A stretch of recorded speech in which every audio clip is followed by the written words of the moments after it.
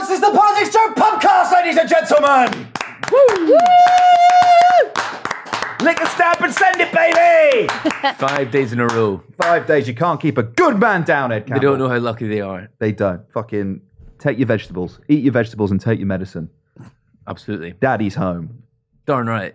like David Cameron. Yes. Who'd you like more? David Cameron or Ed Campbell? Uh-huh. Daft Cam. Makes sense. Ava? Zaddy.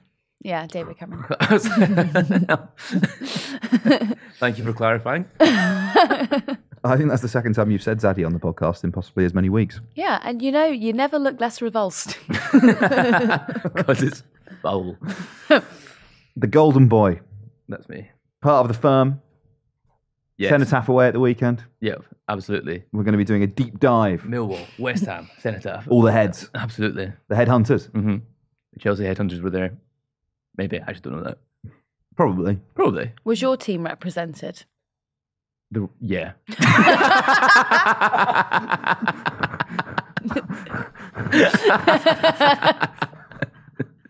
Celtic. yeah, there was lots of Celtic fans there. It was crazy. Um, Ava Santina, Hi. the butcher. Yeah, thank you. You all right? Mm, great. How are you? Good. Glad to have you here. Part of the uh, part of the fascism watch along that we're all doing today. Yeah. You and me running through the clips that our esteemed colleague. It's been a bit of a delay, to be honest with you. I mean, we're kind of hmm. we're kind of out of the news agenda at this point, but. Ed, the quality of the journalism that you produce is so good that I think it holds for at least a week. Excellent. That's You- good. It's you- timeless. Expiry date six days later. But fascism is timeless, really, isn't it? Apart from when it comes to the trains. That is very timely. On time. Yeah. Yeah. Excellent. On time, not timeless. I think it's. actually, I would say it's quite. It's not timeless. 'Cause It's Fascism. a relatively modern thing. Do you think? Yeah, it only c- came about in like the twenties. You could probably make quite a good argument that Jesus was a fascist. I wouldn't. I wouldn't dare to do that. Well, What, what would the argument be? well, listen, I'll save that for my uh, my sermon. and as a resident Catholic, you can't come for me on that. Hmm. That's true. Um, will we do a definition of terms? Will we try and establish what fascism is, or should we just go into this and, and bypass that? I think we would do this. I'm not. I've not got the. I'm not in the mood to define fascism. Are you two okay? No, I should have had a coffee. I'm on my second. That's why. Absolutely. Won't be, won't be able to sleep tonight. He's jazzed up. There's a point where you know how caffeine restricts your capillaries. There's a point when it actually opens them up really wide. Oh no. So you get to a point where you're like so nervous, and then you have just a bit more caffeine, and it opens them up really wide. I know about this because on TikTok everyone's talking about it because, well, you can go on TikTok and find out. Okay. I've not seen that. We must have different algorithms. I've started thinking about what that might be to do with, and I don't like it. Shall we? Shall we do some Yeah, I clips? think we should do the clips. Yeah. Roll the clip. I'm here because I'm English. I'm not affiliated with any group. Like we've heard on the news and the media, they've called people far right, EDL. If you look around, I don't see too many bad looking people here today. I purely came here in defence of the realm. This is wrong. We wouldn't have to be here if this protest was banned. Point blank. Don't get me wrong, I'm a free speech activist. Even if it upsets me, I'm going to let you say what you got to say, but there's free speech has limits and today should have been cancelled. Full stop. Why, why should today have been cancelled? This is a national heritage. This is a remembrance for everyone that's part of the British Empire. This ain't a white thing either. We've got plenty of coloured Commonwealth soldiers that have fought and died for this country. So this isn't just about the English. This is about a national identity, and we're in crisis right now. You mentioned you're a free speech activist and that there are limits. Why, are the, why should the limits be today and not any other day? Well, you see, the last few weeks you've had black shahadas, Taliban, and ISIS flags marching down the road. The police have done nothing. You've had Hezbollah, Hamas flags, police have done nothing. You've got them openly chanting for genocide, nothing. Now, if me and other groups that were here were to walk down the road and chant stuff in the opposite, we'd be labelled, we'd be arrested, we'd be thrown in jail. It's a two-tier policing system, and that's what we're upset about. Uh, Ed, obviously, as a um, fellow traveller of this chap, um, you were there. You were- ju- I just dropped that bit. you were also there uh, in defence of the realm. Mhm. Uh, success, successful defence of the realm. I think the realm was successfully defended. The Knights of the Templar can go home uh, happily.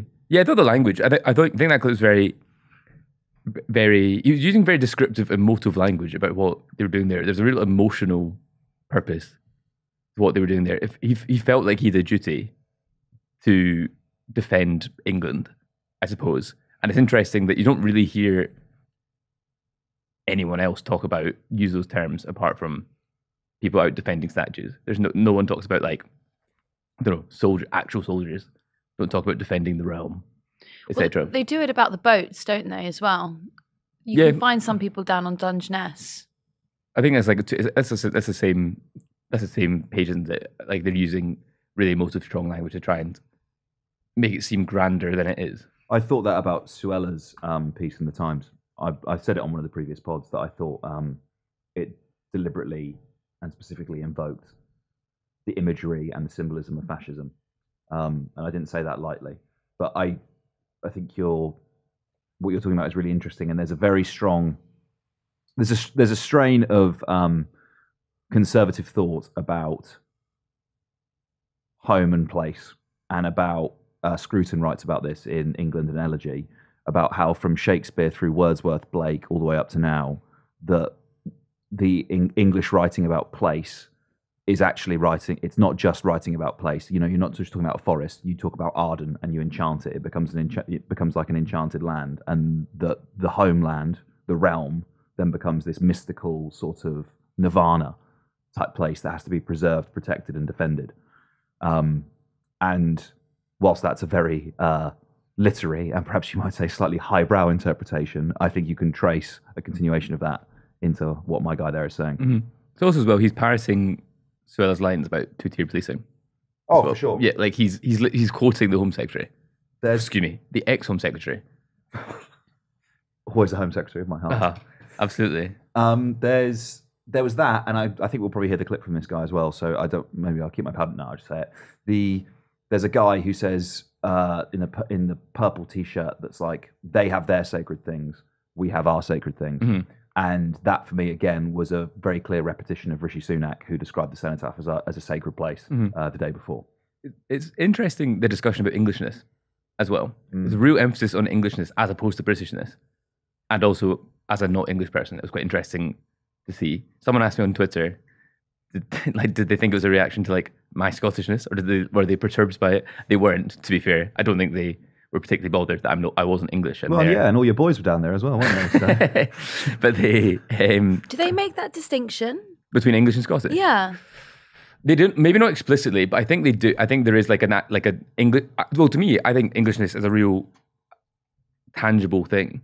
I think some things that English people do are very English, and amongst like fellow Scots who live in England, some we observe something, and we're like, that was a bit, that was very English. Could you give an example? Um, Make it personal. yeah, when you guys, you limey fuck. I think there's just different. There's different cultural touchstones, different levels of humor, different types of humor.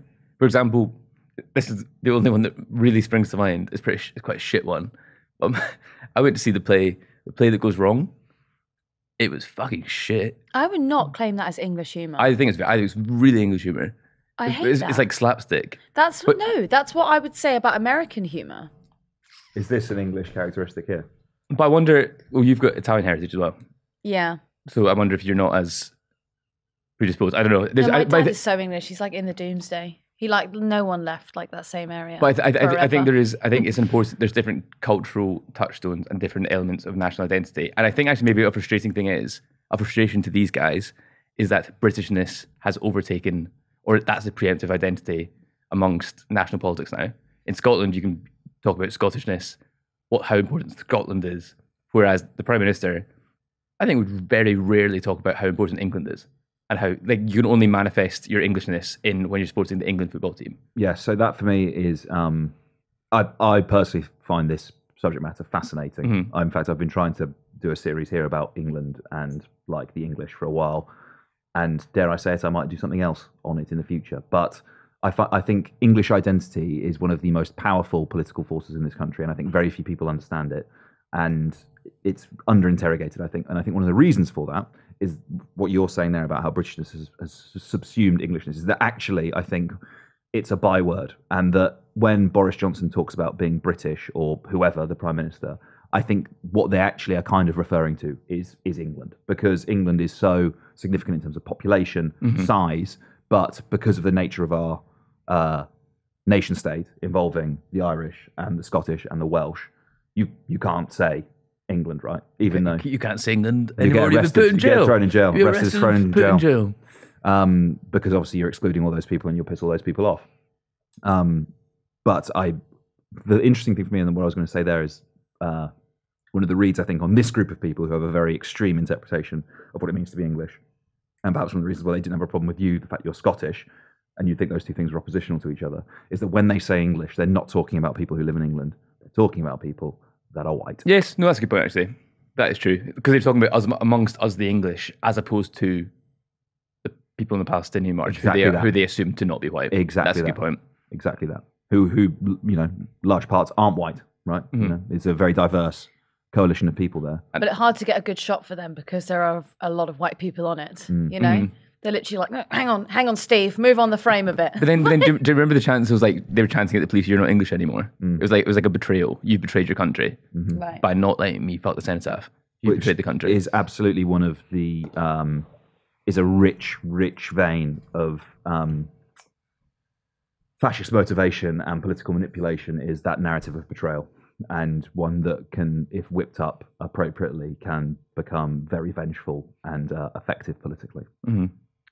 Show we have another clip. Next clip. Roll the clip. Um, I came in as well because um, uh, Tommy Robinson put the call out for us to defend memorials, defend statues from uh, far left and Islamic uh, marches ac- across London. I'm quite concerned about um, the attacks on some of the statues and and the um, and the fact that English people feel uncomfortable getting out an England flag in our capital city.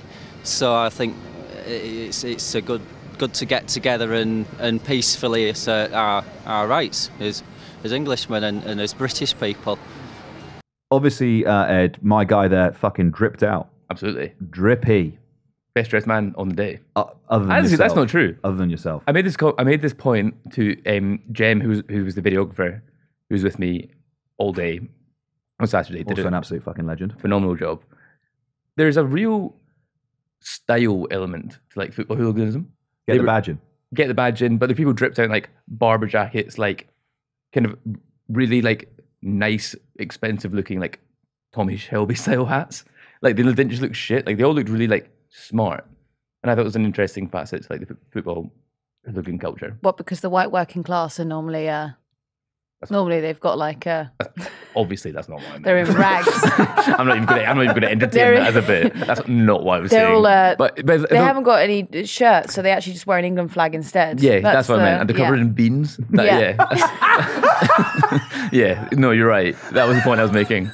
I didn't really. I didn't realize people You had to tie their fucking shoes. Ah, covered in beans. That's what he was talking about when he was saying there's a difference between the English and the Scots. English people just go out dressed in beans. Fucking weird. Scottish people, It's too cold in Scotland. You can't wear beans. no matter how hard you try, my my bean jumper. Um, Blocks out the vitamin D as well. You know, you need to absorb as much as you can. Can't be going out Absolutely. wearing beans. Absolutely. Um, anyway, my man who wasn't wearing beans as much as he'd like, because you can't even say you're English anymore. Yeah. Um, he, can't even can't even dress in beans without getting arrested and thrown in jail. but he's How long can you be dressed in beans for? not long. Because they'd slide off. yeah, Right? So then, so then you're just in tomato, aren't you? You're just in you tomato just get in a sauce at that point. You get in a bath full of beans. You stand Yeah. up. That's your bean soup. Yeah. and you've got a good. Every English person has a bean bath by their front door. It's so weird. Uh, English, it's pe- so weird. English people are naked in the home, and then they want to go out. They get in the bean bath and they walk out the door. I remember when I first moved into a flat in London, Mm. and I said to my flatmate, "What's that?" And he was like, "It's your bean bath."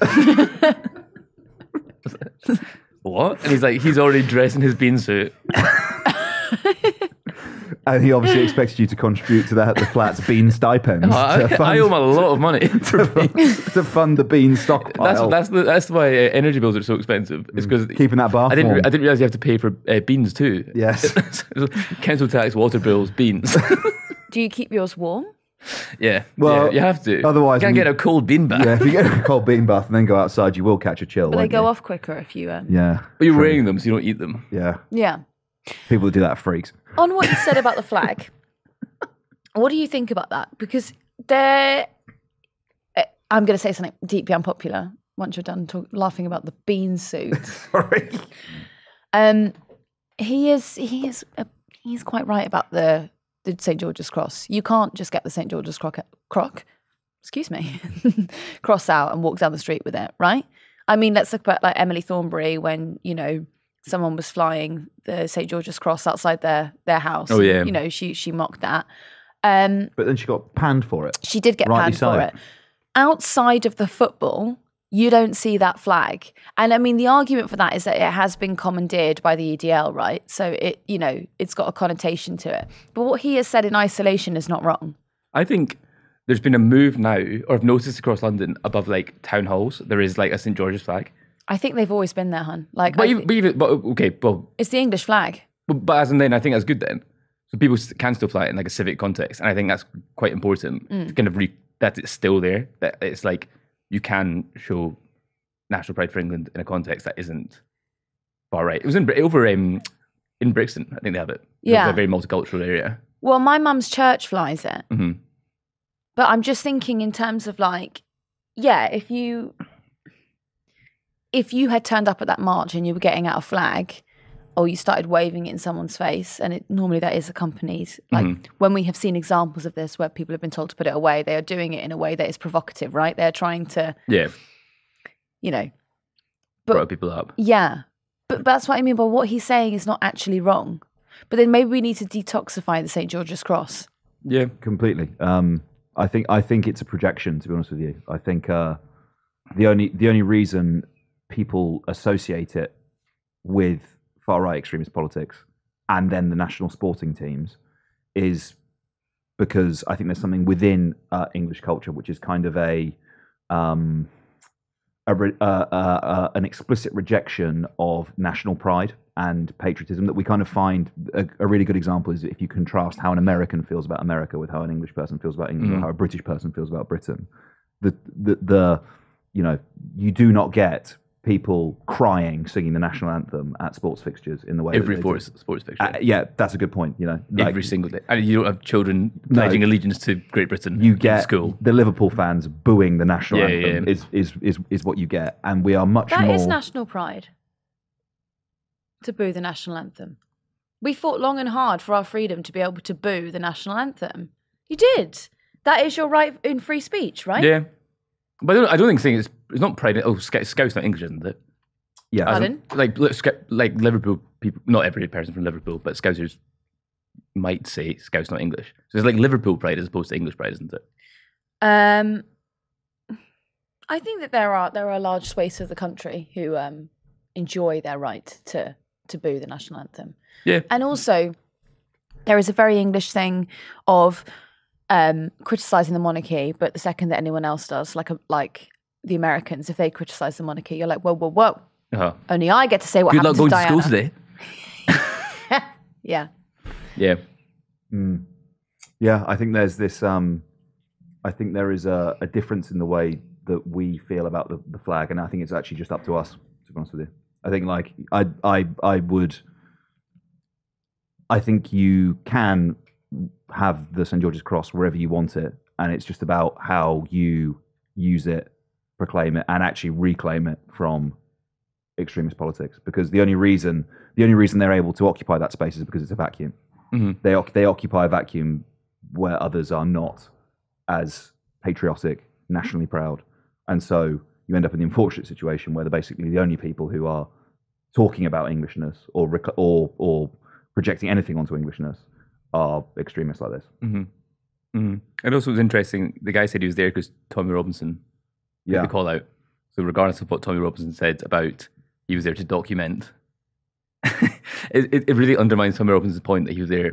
I was, I'm here as a journalist and to document what's going on, pretending that none of us can understand subtext Mm. and that his followers can't understand subtext. He was there, and that's why lots of a good proportion of those people turned out. really interestingly, there's a um, a march against anti-Semitism this weekend. Mhm. and a lot of Jews are very, very upset uh, about the fact that Tommy Robinson has attached onto it and Yeah. called his followers to attend that march. Um, they're, I mean, they're trying to disavow him as much as possible, but it, you know, it provokes a question, doesn't it? Because Tommy is well followed and has the ability to mobilize thousands of people out onto the streets. So it actually poses a very serious question for you as the organizers of that march are, where if you cannot mobilize enough people to render the Robinson lot a minority, you end up in a very awkward situation where, let's say, possibly anywhere between 5 and 50% of the people on that march are fucking Democratic Football Lads Alliance, mm-hmm. EDL Yeah. types. And you then go, holy fuck, we've basically mobilized the far right. Yeah, So, yeah. Doesn't take a lot though, does it, to mobilise the far right? no, just, a, just a statue under a vague threat. They love a day out. Just a bean suit. Just head to toe. If you threaten to take away their bean baths, they will be out. That's something you could really, really easily convince someone who's not from Britain of. We've just convinced you of it, Ed. That's true, actually. Oh, sorry, you are from Britain. There's me. There's me doing the Britain English thing. Yeah, absolutely. No, I am British. Should we do another clip? Yeah. Roll the clip. I think that's bullshit, mate. I think everyone should be treated exactly the same. You know, like if, I was now start acting up, I'd, I'd soon be jumped on very quickly. It should happen both ways. It's as simple as that. You know, we're, we're not here to cause trouble. Unless someone else causes trouble, but it seems like we do get the sort of the sharp end of the stick when it comes to like, oh well, they're, they're, they're far right and that. I'm not nothing far right about me. I'm just here. You know, I, I was here last time when the Black Lives Matter had to rip the statue down. I don't care about black, white, or silver. I'm here to protect the statue because it's, you know, it's, it's sacred to our country. Simple as that. Now this Weekend, Remembrance Sunday, Armistice Day, exactly the same thing. So if we're protesting, you've got to treat us with the same respect as you treat them. And I think that they're more a bit more out of order than we are. To be fair, they, they, they've been attacking police. They've been throwing things. They've been chucking fucking like things into crowds and stuff like that. We haven't done nothing like that, and we don't we don't expect to do nothing like that. But we will meet anger with anger. Simple as that. This is a really common refrain uh, amongst these people, which you heard it in your interviews. I heard it when I spoke about it on LBC at the weekend. People calling in, being like, I was there. I'm not far right. And uh, I actually think it's one of the defining things of the British far right. is their insistence that they are just common sense um, British patriots, right? Um, so, to to quote one of the people that I spoke to at the weekend, it was um, he said, "I'm not far right. I'm I'm a normal person.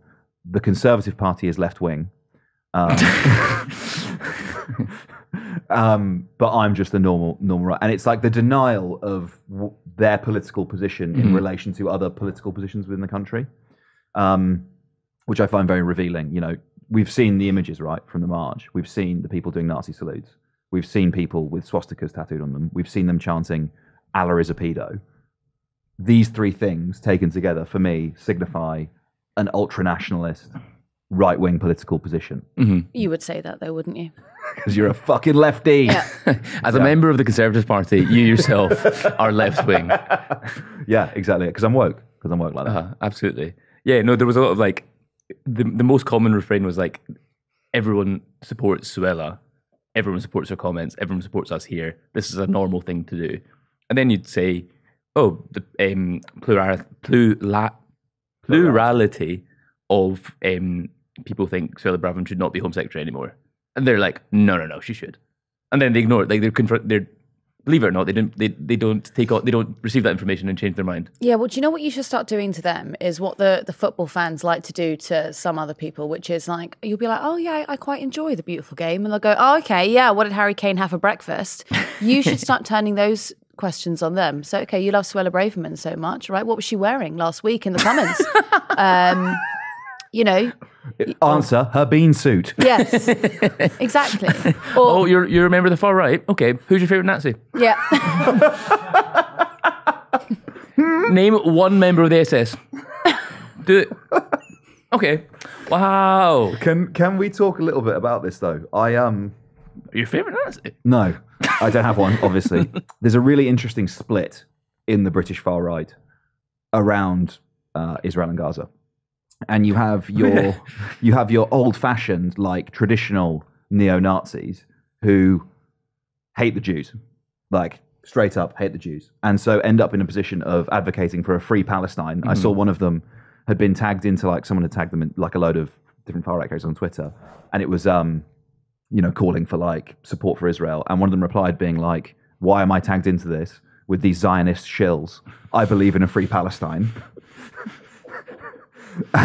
and then you have the more modern British far right, which has gone, no, no, no, no, no, no, no. We actually like the Jews now because in this kind of clash of civilizations, mm-hmm. they are in conflict with Muslims, mm-hmm. who we view as the ultimate enemy. And there's an interesting strain, I think, and parallel between that group of extremists and the people on the extreme left who both racialize Jews as white. And they view them as, within a clash of civilizations, as um, either from the right wing perspective, a bastion against Islamism, or from a more extreme left wing position, as colonizers and oppressors. Yeah. That is interesting. My enemy's enemy is my friend. Yeah, kind of. And I um, I know someone who's currently undercover uh, working on the far right, and he was saying how fascinating it is watching them in their meetings, trying to figure out whether they hate Muslims or Jews more, Fucking and, hell. and figuring out how they where they need to sit on this. I thought I should have asked them. Yeah, That's quite a good question. First question should be that, shouldn't it? Uh, I think that would be. Uh, I think that question may have jeopardized your personal yeah, safety. well, Yeah, and also it was also the thing was like we're we're not here to cause trouble. If they cause trouble, we're here to defend them, which proved out to be a lie. Well, yeah, because then they tried to Bomb seek the and destroy. but they, they tried to fuck the cenotaph. Yeah, But they also then tried to catch up to the Palestine march, right? And Mm-hmm. the police were then playing this cat and mouse game, keeping the two apart from each other. mm. and they were like keeping them within the pubs on the Vauxhall Bridge Road. Were any of them veterans? None of the people I spoke to. Um, yes, actually there were. There was the one guy who didn't want to speak to us. He said he was there representing West Ham and his military regiment. So he was an ex-soldier. He wasn't. But then, but then they're also there. Not everyone, not everyone there was a far right football hooligan. Well, no, I just think that if you're going to go really out of your way to defend the cenotaph and you've got, you know, should you not have served for a little bit? If you care that, you know, if you're going to give. what, what is the ultimate defense of the cenotaph? But serving a tour in the Middle East. do you know what I mean? Yeah, yeah. No, I, no, I do. I do know what you mean. Because on the flip side of that, I go, well, it's a hunk of rock that is symbolic, yeah.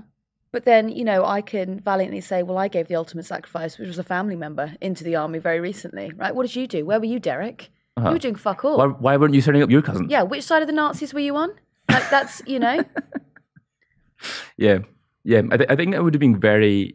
One one soldier I spoke to, he was so he was actually kind of talking. He was talking about the Palestine March, but I think the same applies to the far right people. Was he was saying, Remembrance Weekend is quite a traumatic time for um, ex soldiers because you're all you're thinking about is your service, about mm-hmm. friends you've lost, about trauma you've experienced during combat. So you're you're in, you're not in the best place anyway, and you're supposed you, and what you want to do is go to the cenotaph and observe silence and like catch up with friends and like reflect on your time. And he was saying, so I hope the Palestine people, the Palestine marchers, don't disrupt that for that reason. Mm. But the same ultimate, the same ultimately applies to the, the people who rammed the cenotaph. If you were a veteran who was there in solemnity, like you could be very old standing there. That would have been horrific. To be your your entire Saturday or Remembrance Day would have been ruined. And if you are there claiming ultimate respect for these people, well, they undermined it. I, I don't I don't believe them, believe it or not. Mm.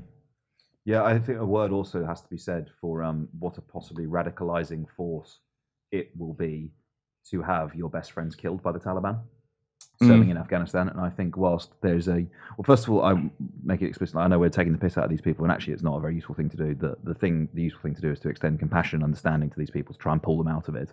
Um, but if you've served and your two best mates have been blown up in an IED, or you've watched, you've cradled your best friend's body as he bleeds out, I totally understand why you would develop a deep-seated hatred of Muslims.